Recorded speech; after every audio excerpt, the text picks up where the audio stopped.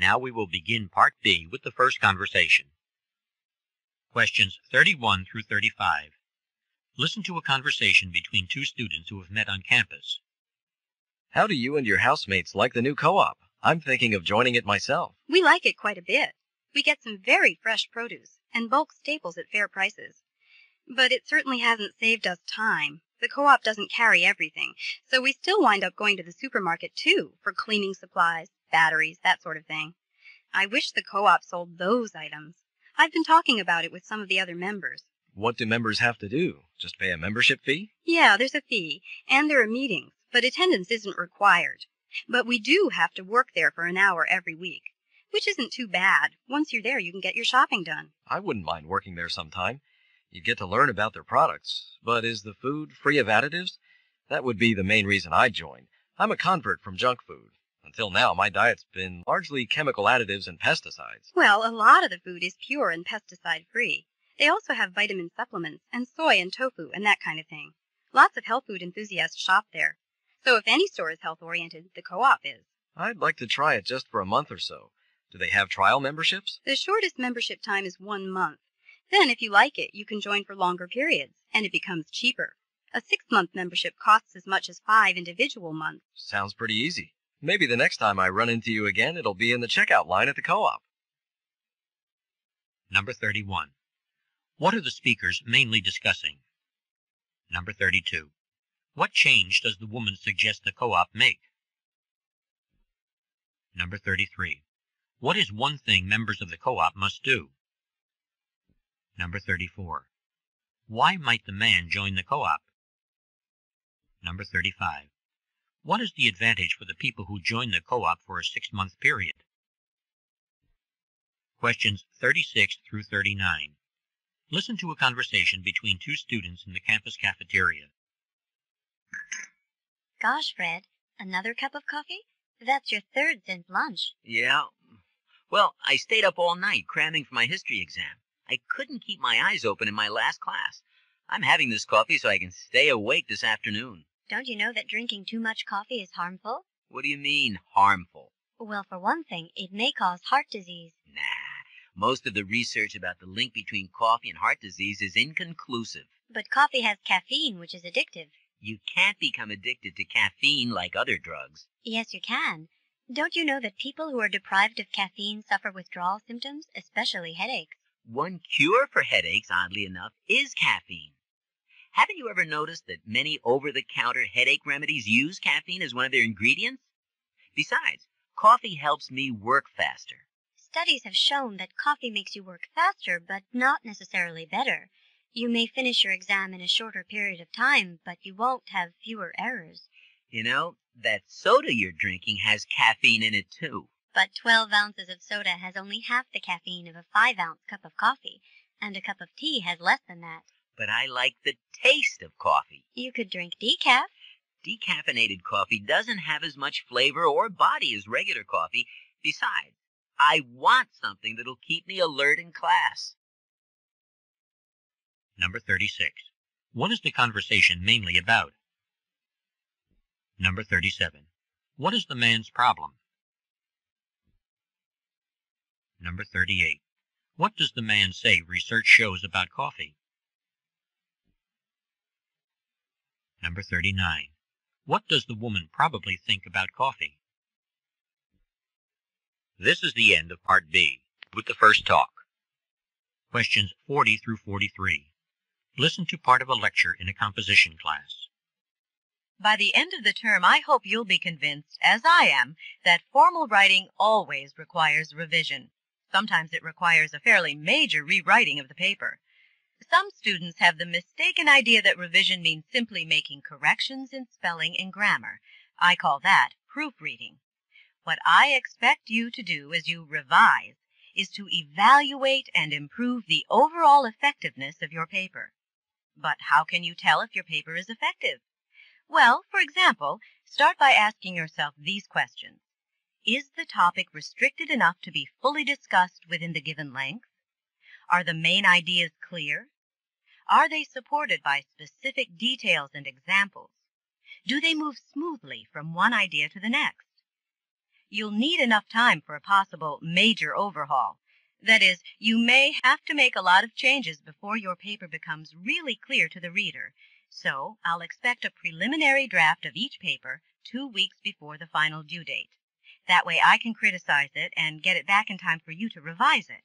Then you can submit a final draft for grading. This process may seem like a great deal of trouble at first, but I think you'll find it valuable. In fact, after you finish this course, I doubt that you will ever turn in a term paper without first revising it carefully. Number 40. What is the purpose of the talk? Number 41. What should be the student's main goal as they revise their work? Number 42. When should the first drafts be turned in? Number 43. What effect does the instructor think the class will have on the students? Questions 44 through 46. Listen to part of a radio program about environmental issues. Are electric cars the wave of the future? Automobile manufacturers are under pressure to develop cars that do not pollute. One powerful motive is a California law requiring that by the year 2000, 10% of new car sales in the state be so-called zero-emission vehicles. These cars must put no pollutants whatsoever into the atmosphere. California is a huge market for the automobile companies, so they are working hard to meet these standards. So far, the electric car seems to be the best alternative. So the big advantage of electric cars is that they don't pollute. However, they will be in competition with gas-powered cars, and that's where their weaknesses come out.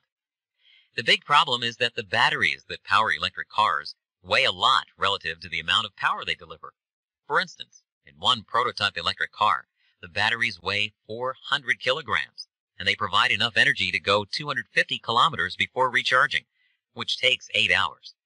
Compare that to a moderately fuel-efficient conventional car. It can go 600 to 700 kilometers on a tank of gas, and refueling takes just minutes. If there are other drains on an electric car's batteries besides the motor, headlights, air conditioning, or a heater, its already limited range would be significantly reduced. So automobile engineers are trying to make more powerful batteries that would increase the car's range and make them more attractive to buyers. Number 44. What is the talk mainly about? Number 45. What is the main advantage of electric cars over gas-powered cars? Number 46. What is the main drawback of the electric car? Questions 47 through 50. Listen to a talk given at a Museum of Natural History. I'd like to welcome you all to the Museum of Natural History. Today's tour will take us through our newly renovated dinosaur exhibit, where we have the largest collection of dinosaur fossils anywhere in the world. Before we begin the tour, let me mention that there have been some major modifications to some of the exhibits over the past three years. Basically, these changes were made because of recent changes in the ways scientists interpret dinosaur behavior. For example, when we get to the first room, you will be able to see that the Tyrannosaurus rex skeleton is no longer standing upright with its tail dragging on the floor.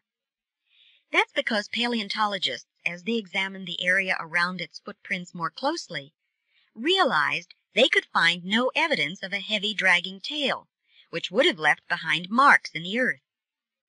In its new position, the backbone is parallel to the floor, its head is pushed forward, and its tail is stretched out, acting as a counterweight.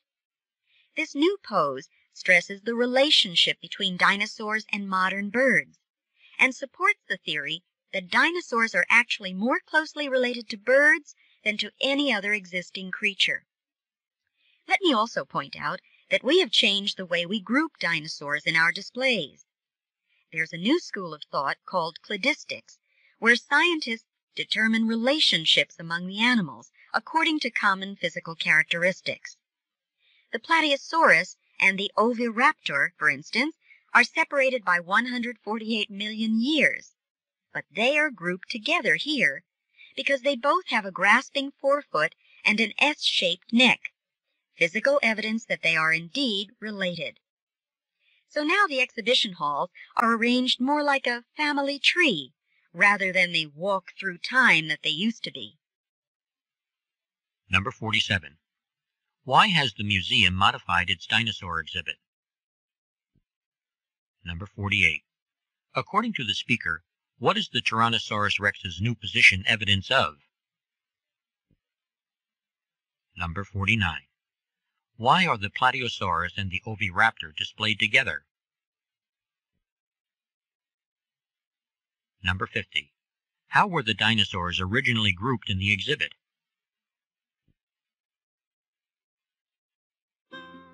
This is the end of Section 1, Listening Comprehension. Stop work on Section 1. This is a reminder. At the end of the test, the supervisor will collect all of the test books.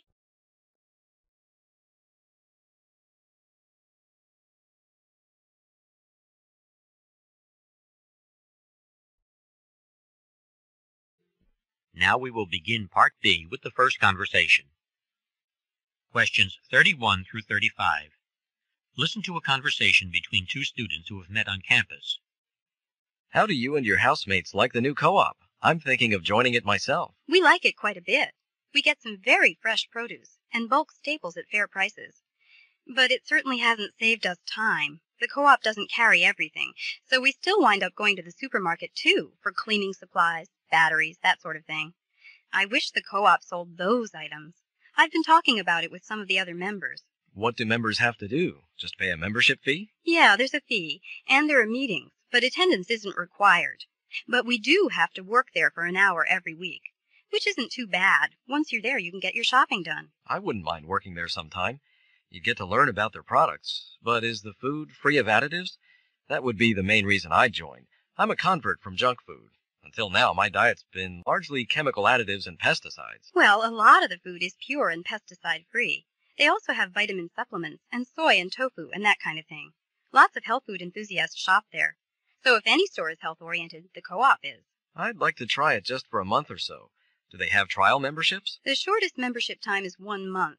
Then, if you like it, you can join for longer periods, and it becomes cheaper.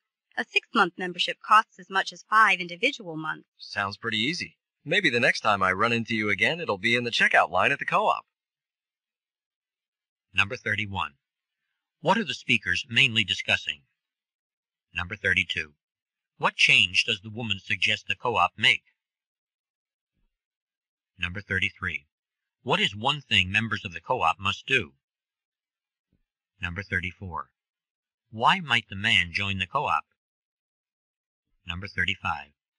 What is the advantage for the people who join the co-op for a six-month period? Questions 36 through 39. Listen to a conversation between two students in the campus cafeteria. Gosh, Fred, another cup of coffee? That's your third since lunch. Yeah. Well, I stayed up all night cramming for my history exam. I couldn't keep my eyes open in my last class. I'm having this coffee so I can stay awake this afternoon. Don't you know that drinking too much coffee is harmful? What do you mean, harmful? Well, for one thing, it may cause heart disease. Nah. Most of the research about the link between coffee and heart disease is inconclusive. But coffee has caffeine, which is addictive.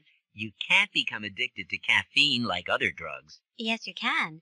Don't you know that people who are deprived of caffeine suffer withdrawal symptoms, especially headaches? One cure for headaches, oddly enough, is caffeine.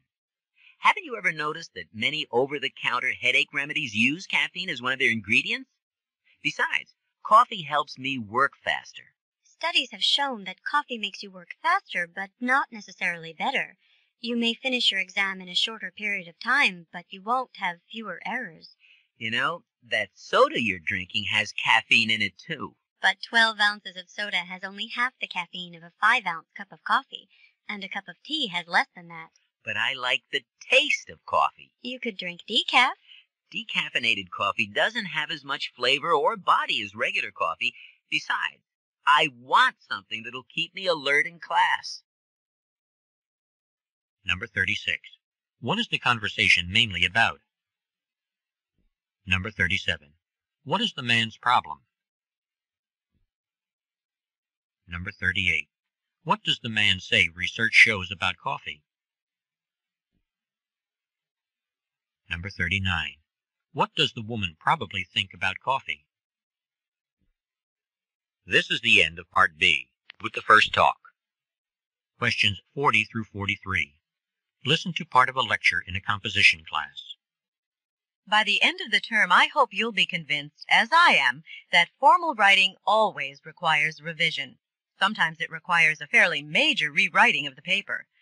Some students have the mistaken idea that revision means simply making corrections in spelling and grammar.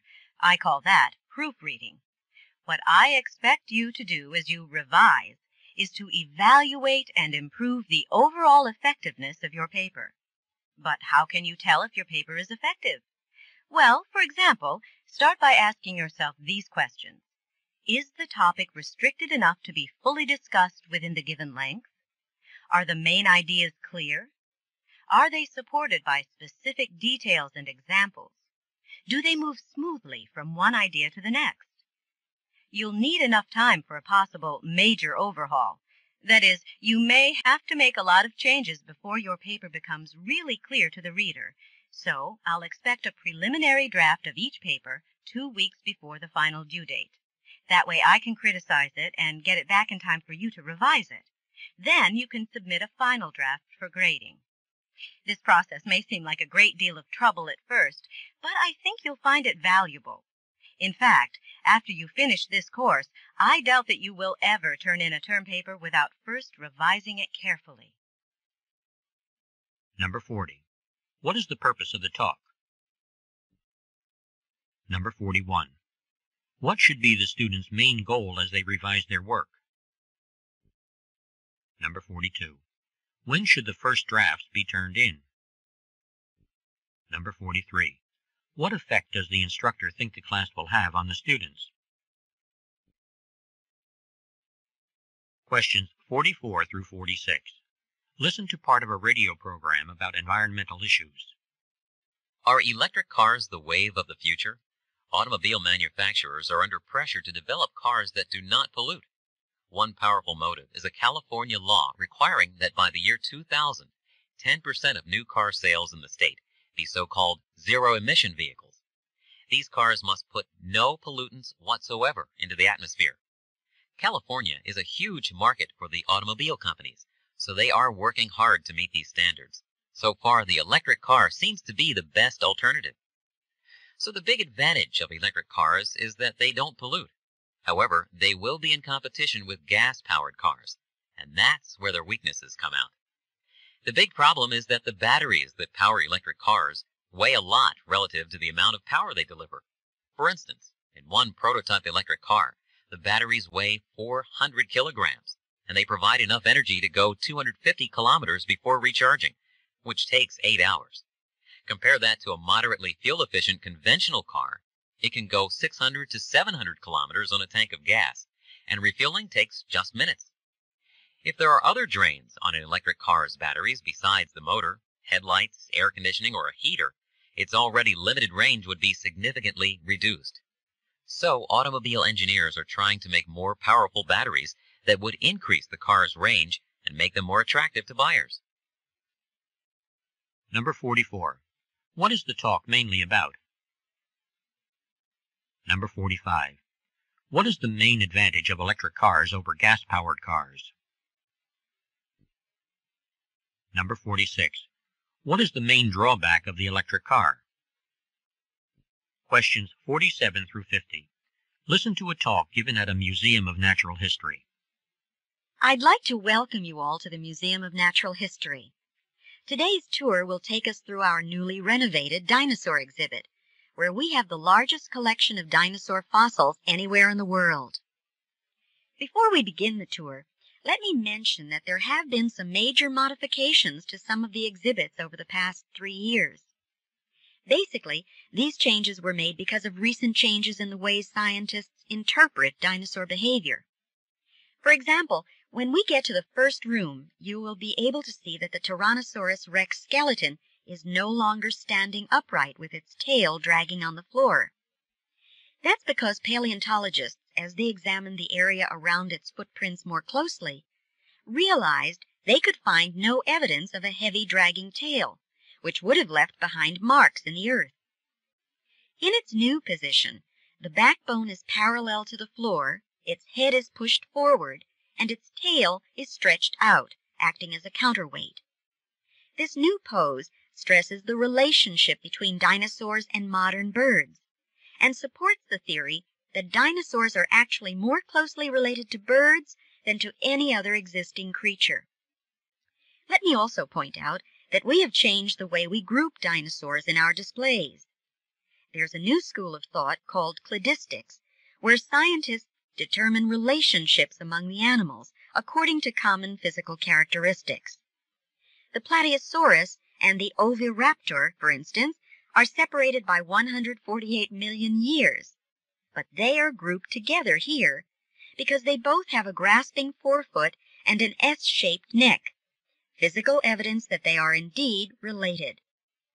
So now the exhibition halls are arranged more like a family tree rather than the walk through time that they used to be.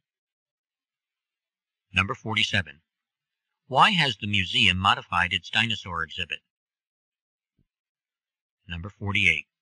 According to the speaker, what is the Tyrannosaurus rex's new position evidence of?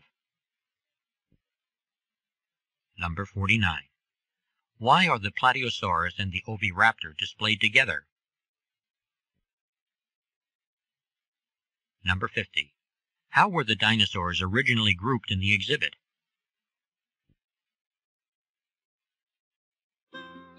This is the end of Section 1, Listening Comprehension. Stop work on Section 1. This is a reminder. At the end of the test, the supervisor will collect all of the test books.